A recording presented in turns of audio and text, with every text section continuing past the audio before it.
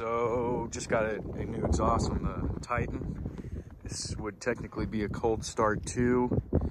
They are true duals all the way back, Super 10s with four inch tips. Hope you guys like.